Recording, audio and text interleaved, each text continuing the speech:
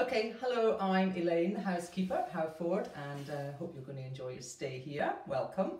Normally I would come and meet you myself, but with the current situation we're doing this on video. So the first thing we're going to show you is the fire alarm, which is situated just inside the back door. If the fire alarm goes off, um, first of all, get everybody out of the house if it really is a fire, but it, the chances are it won't be a fire, it's just some little thing of set it off. Smoking in the house sets it off. Spraying aerosols directly underneath the sensor on the ceiling sets it off. So if you know that something's happened and it's not a fire and it's going off, if you could get to it as quickly as possible and switch it off, that would stop the fire brigade coming because they arrive fairly shortly and then they charge us quite a lot of money for a false alarm.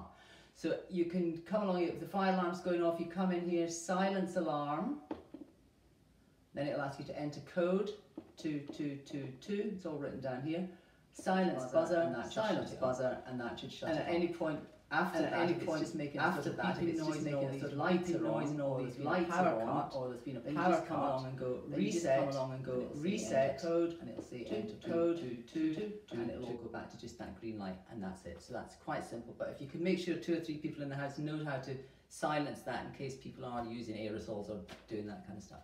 So we'll move on to the central heating now. Thank you Right, here we are at the central heating console. Um, we put the heat, this is hot water here, HWCH central heating, and we set it on a timer, both of them, and I think it's going to be coming on at 7 in the morning, goes off at 11 in the morning, comes back on at 5 in the afternoon, goes off at 11 in the evening, and for this time of the year that should be plenty.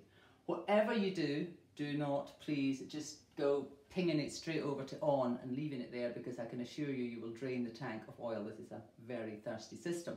So if you can just go by the times, but if you happen to be in the house of a lunchtime and it's a freezing cold day or something, then you can come along to the central heating and just press advance and that will bring it forward to the next time. But that's really only if it's a very cold day and you're in at lunchtime. So we'll just finish, that's, that's that. We're just going to, uh, here at the back door here, I'll just open that door. So you go down these steps, be careful if it's slippy, but you cross this little garden and over there in the corner in the garage there are sacks of logs. So we'll provide you with a couple of big baskets of logs on the house and if you want to use any logs thereafter, help yourself and they're £10 a bag. Um, what we normally do is leave the money on the table or leave a note to say you've had six bags or whatever, or two bags, and Catherine will deduct it from your housekeeping. Okay, now here we are over at the dresser in the kitchen with the Welcome to Howford book, which is all laminated, nicely laminated. So all that fire information that I told you, stuff like that is all in here, places to go, stuff to do, doctor's numbers, etc. This is a welcome pack for you, some lovely mm-hmm. Traquair Bear Ale. Uh, on this dressing book there will also be some passes for Traquair grounds, unfortunately not for the house because we're not yet open there because of the restrictions. So, But there will be a pass there to get you into the grounds um, for free. Um, you can also use the tennis court at Traquair House. Um, the tennis rackets and balls are in the corridor along beside the um, ground floor bathroom. Um, we also have in the garage a table tennis table, outdoor table tennis table. Use it outside by all means, and if it's raining, put it back in the shed, you know, at night before you go to come in. Please don't bring it into the house. Somebody did that once, and it was the effect was chaotic. I can only say that. Um, there's croquet through there as well, a croquet set, which is quite fun to play down at the bottom of the garden. Be a barbecue out in the garage as well, where the table tennis table is, so you can use that and you can buy charcoal at the co-op and then even I noticed they had the foyer full of charcoal the other day. So there you go. Um, I think that's all I needed to say from this particular station. But this is the this here on this little hall table is the front door key for the front door just over here. Um, I don't know it seems unimportant but if you could please make sure you leave the front door key here when you leave because we have been in the past known to spend a lot of time looking for the front door. Now this is my air hostess bit. Um, this is a linen bag, this here, and I will be putting one of these in each bedroom. And we normally do ask guests um, to strip the beds when they leave, but on, you know, in, in, in, in new normal times, we're going to ask you to go one step further and strip your bed of both sheets. We're using two sheets on top of the mattress, two pillowcases, covers and the duvet cover. Strip everything off and put them in this bag with your towels. Even if you haven't used all your towels, there's one that's clean, don't care, just put it in the bag.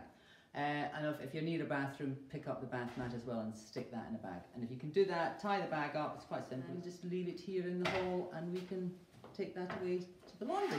So we're still in the hall, but the sitting room is just here. You probably can't see it. Anyway, the sitting room is just there and that's where the Wi-Fi is in the corner. The code for the Wi-Fi is on the back of the modem and it's also written in the book that I showed you earlier in the kitchen. Now the Wi-Fi really only works in the sitting room, so if you want to download stuff, Zoom, FaceTime, all that kind of stuff, you really have to do it in the sitting room. Um, just a word about the rubbish. When you leave, um, if you could please take your bags of rubbish from the kitchen, whatever, down into the bins at the bottom of the drive. The blue lidded bin is for recycling and the other two bins are for normal rubbish. The green lidded bin can take any kind of overspill if one of them happens to be a bit fuller than the other. Um, please don't put your bottles in the bins down there because we'd have to just get them out again and take them to the recycling. But there's a recycling centre bottle bank at the Co-op in Innerleithen and one in Peebles in the Tesco car park. So if you could just take your bottles there, that would be much appreciated. It's going to ask you to do it before you leave and you know if you can please leave by 10 a.m. in this current time uh, that gives us more time to prepare for the next guest coming. Um, and when you go, if you could actually open your windows in your bedroom, if you've got an opening window in the bedroom, just open the windows a bit and let the air in. That that would be very, very handy. Okay, so I hope you enjoy your stay and have a lovely time. Um, I'm just on the end of the phone. I just live a mile up the road in the village, so call anytime if there's a problem or a query, just give me a call. My number is in the book and the head guest will have my number on his phone already or her phone. Okay, thank you very much. Enjoy your holiday.